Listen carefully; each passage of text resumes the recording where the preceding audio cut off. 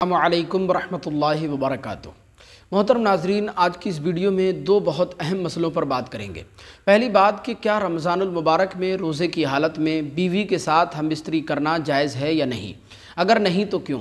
और दूसरी बात कि क्या रमज़ानमबारक की रातों में बीवी के साथ हम बिस्तरी करना जायज़ है? और अगर जायज़ है तो उसका तरीक़ा क्या है?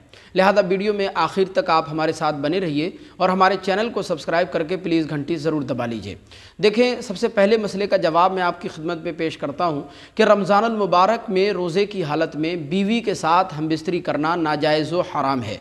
और अगर किसी ने रोज़े की हालत में बीवी के साथ हम बिस्तरी की तो उससे रोज़ा फासिद हो जाएगा, रोज़ा टूट जाएगा, जिसके नतीजे में रोज़े की कज़ा और कफ़ारा दोनों लाजिम आएँगे। मैं आपकी खिदमत में एक हदीस पाक पेश करता हूँ, जिसे सुनकर आपका ईमान ताज़ा हो जाएगा। हज़रत सईदना अबू हुरैरा रदी अल्लाह तु से मरवी है। वो बयान करते हैं कि हम एक बार हुजूर की बारगाह में बैठे हुए थे, एक शख्स हाजिर हुआ और उसने अर्ज़ की, या रसूल अल्लाह मैं तबाह बर्बाद हो गया।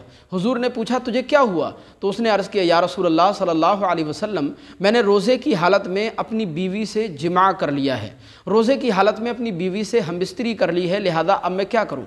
तो हुजूर ने इरशाद फरमाया कि क्या तू ग़ुलाम आज़ाद कर सकता है? उसने कहा, नहीं या रसूल अल्लाह मैं तो गरीब आदमी हूँ, मैं ग़ुलाम आज़ाद कहाँ से करूँगा? फिर हुजूर ने फरमाया, क्या तू साठ रोज़े मुसलसल रख सकता है? उसने अर्ज़ की, या रसूल अल्लाह मैं ये भी नहीं कर सकता। फिर हुजूर ने फरमाया, क्या तू साठ मिसकीनों को खाना खिला सकता है? उसने अर्ज़ की, या रसूल अल्लाह ज़माना जानता है कि मैं बेहद गरीब आदमी हूँ, मैं साठ मिसकिनों को खाना कहाँ से खिलाऊँगा? फिर हुजूर खामोश हो गए। हज़रत सईदना अबू हुरारा फरमाते हैं कि हम भी अपनी हालत पर बैठे रहे। इतने में एक खजूरों का टोकरा हुजूर की बारगाह में पेश किया गया। हुजूर ने इरशाद फरमाया, वो साइल कहाँ है? यानी वो शख्स कहाँ है जिसने रोज़े की हालत में अपनी बीवी से हम बिस्तरी की है। उसने अर्ज़ की, या रसूल मैं हाजिर हूँ। फिर हुजूर ने इरशाद फरमाया कि, जाओ, इस, इन खजूरों को ले जाओ और गरीबों में, फ़कीरों में तकसीम कर दो, बाँट दो, सदका कर दो। तो उसने अर्ज़ की, या रसूल अल्लाह सल्लल्लाहु क्या मैं अपने से ज़्यादा मोहताज लोगों पर सदका कर? दूँ? या रसूल अल्लाह की कसम, मदीने के अतराफ़ में, ज़माना जानता है मुझसे ज़्यादा कोई गरीब और मोहताज नहीं है। मुझसे ज़्यादा इन खजूरों का हकदार कोई दूसरा नहीं है। हुजूर ये सुनकर मुस्कुरा पड़े। तबस्सुम और फिर उनके लबों का चमन की हर कली शर्मा रही है। मेरे आका इस तरह मुस्कुराए कि रिवायत में आता है, आपके दंदान मुबारक नज़र आने लगे। फिर हुजूर ने इरशाद फरमाया, जाओ, इन खजूरों को अपने घर पर ले जाओ, ख़ुद भी खाओ और अपने बच्चों को भी खिलाओ, तुम्हारे रोज़े का कफ़ारा अदा हो जाएगा।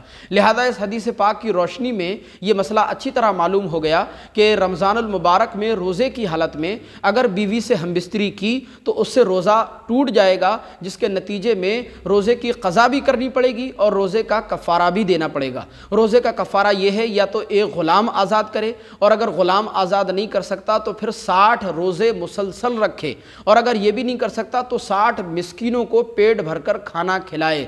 तब उस एक रोज़े का कफ़ारा पूरा होगा। अब रहा यह मसला कि क्या रमज़ान मुबारक की रातों में बीवी के साथ हम बिस्तरी करना जायज़ है? और अगर जायज़ है तो उसका तरीक़ा क्या है? तो देखें, इसका जवाब यह है कि रमज़ान मुबारक की रातों में गुरूब आफ्ताब के बाद, यानी इफ़ार करने के बाद से लेकर तुलु फ़जर तक खाना पीना और बीवी के साथ हम बिस्तरी करना बिलाशुबा जायज़ है, इसमें शरान कोई मसला नहीं है। लेकिन इसमें एहतियात ये रखें कि अगर हम बिस्तरी बीवी के साथ ऐसे वक्त में की कि सुबह सादिक हो गई तुलु फ़जर हो गई तो अब हम बिस्तरी करना हराम हो जाएगा। लिहाजा तुलु फ़जर से पहले पहले, सुबह सादिक से पहले पहले बीवी के साथ हम बिस्तरी करने में कोई मुजायका नहीं है। अल्लाह तबारक व कुरान अजीम में इरशाद फरमाता है कि रोज़े की रातों में बीवियों से मिलना तुम्हारे लिए लिए हलाल कर दिया गया है। तुम्हारी बीवियाँ तुम्हारे लिए लिबास हैं और तुम अपनी औरतों के लिए लिबास हो। लिहाजा रमज़ान मुबारक की रातों में तुलु फ़जर से पहले पहले बीवी से हम बिस्तरी की जा सकती है।